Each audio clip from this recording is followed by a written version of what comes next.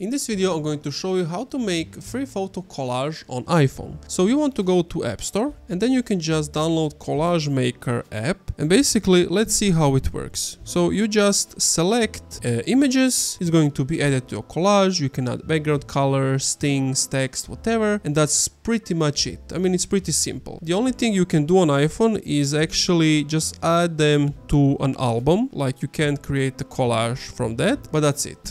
Thank you for watching this video. If you enjoyed, leave a like, comment, subscribe.